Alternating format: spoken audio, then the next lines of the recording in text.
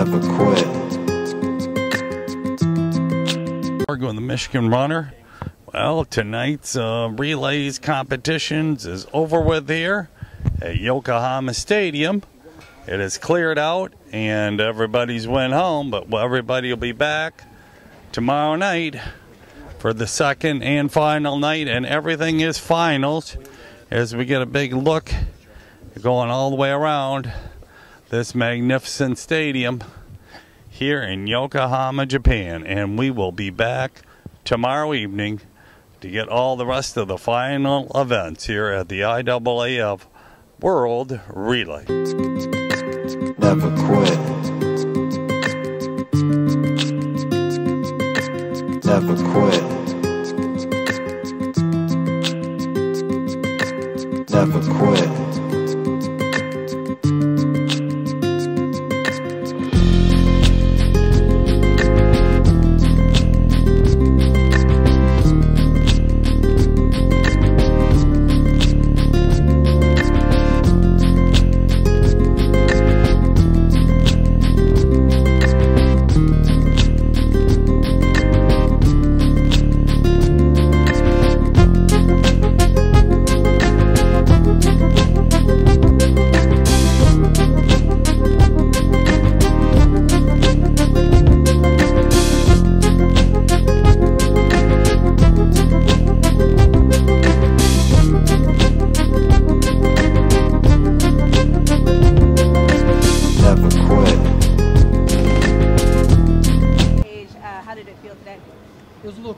There than it was yesterday. Um, just make sure the muscles are warm and just getting sticks around. You know, it was a lot of heat out there as in competition, but we was able to get through it.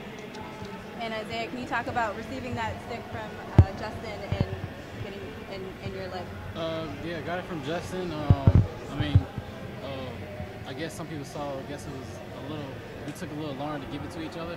But, I mean, we still got it, and I got it around and gave it to Noah the best I could, and let him go to work, And Noah, we saw you chase down at least two different countries in that last in that anchor leg. Can you just talk about what was going through your mind at that time? it was really just me trying to focus on, I guess, myself.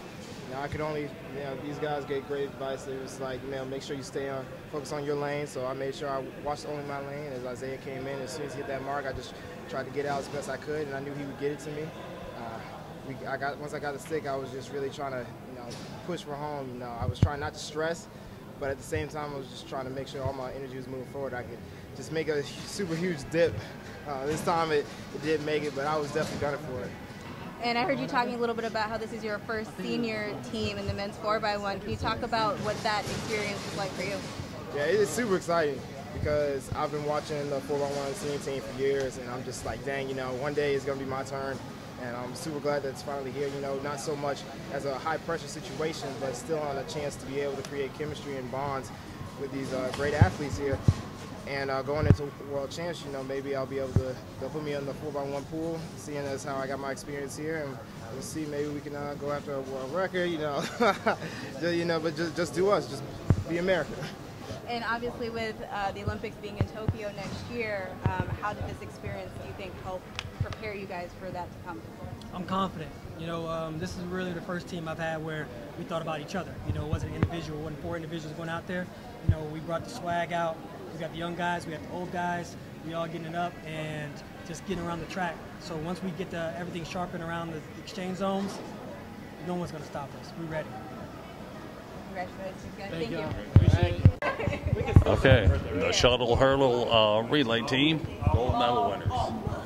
All year. Yeah. Okay, okay, you guys. I'm gonna. I'll just go in my order. Okay. All right. All right, guys. World champs. Freddie, tell me uh, what it's like.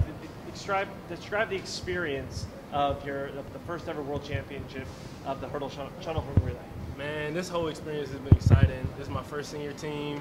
You know, I haven't been on the team since 2016. I was on the U23 team. Just coming out here and racing with Sharika and Christina, and just just being in Japan. I'm just I'm just completely blown away by the whole the whole experience. I'm just happy. Christina, uh, DQ. Yeah. Does that add any additional pressure to that race? It was no pressure. Um, I knew it wasn't me. I was like, okay, but it was a little disappointing though because Yeah. we only had Japan since Jamaica had pulled out, and it would have been nice to have that competition as well. But you know, it was still fun with Japan. We did what we were supposed to do. Sharika, you're no stranger to the double. You ran twice today. Both of you did. Uh, you know, talk about your race. You know what? I think it was really great. We were able to come out and get the win. I think that's all that matters, and we did it as a team. So it was great for me. I think it was great for everybody else that ran it, and we got a gold medal. Gold medal on your birthday. yes! Devon, talk about the chemistry of this team and, and just the overall experience. Um, I think, especially with the hurdlers, we've been around each other for so long now that we just kind of know each other's, you know, personalities and the dynamic of the group fits really well. And um, just being able to compete and trust everybody to do their job helps us relax. And a relaxed hurdler is a fast hurdler, so that's what we did today and, and got got the dub. Uh, and also, don't forget that Queen and Ryan also Oh, yeah, has yeah. a major part in this too. Of course, of course. Congratulations on World Champions, guys. Thank Cool. you. Thank you. Um, it was an honor to run with these ladies. It was an awesome opportunity, and I had so much fun out here. So I hope that I'm able to come back in two years. And Shakima, can you talk about your leg going in after you got the stick from Jade? Well, I saw how hard Jade had worked in the lead. She got us in. I just wanted to get out and hold on for the team. I knew that my my part, as everybody else's part, would be very important, so I just wanted to do my part. And Courtney, um, can you just talk about, um, obviously it was a little bit tight um, when you got the stick. Can you just talk about that last leg?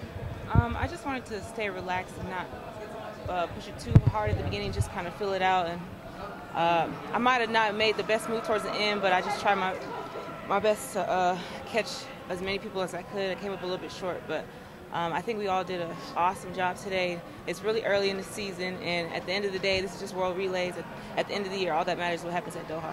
Yeah, and that's what I was going to actually ask next. Obviously, this is a preparation towards World Championships. Um, obviously, looking to defend your title here. Standing here with the women's 4x1. Congratulations, ladies. Thank um, you. No changes from yesterday in terms of lineup or anything like that. Can you just talk about starting that race off again? Um, once again, my job was just to start the race um, and get the baton to Ashley. Um, I knew I had three good legs coming after me, so all I had to do was put the team in a decent position and we could get away with the win. There was very smooth handoffs today. That was one thing that I really noticed. Can you just talk about some of the prep work you guys did leading into this event? Uh, a lot of the prep came from the days before, obviously, when we got here. Um, just trusting ourselves, trusting the marks, trusting each other and our speed, but a lot of preparation and it just all worked out. And Desiree, obviously no, not new to the relays at all here. Can you just talk about the experience of being here at the World Relays and um, coming here and getting a gold? Uh, it was amazing. Um, I was really happy to be able to compete with these girls, and I mean the crowd was amazing and the competition was great, so it was awesome. And Aaliyah, a little pressure by Jamaica there at the end. I just want to know, did you feel them coming in, or did you feel like you still had it in the bag? Um, I mean, I felt them, but I mean, my goal was to get across the line first, so that's what I did. You did your job today. Well, congratulations, ladies. Good job.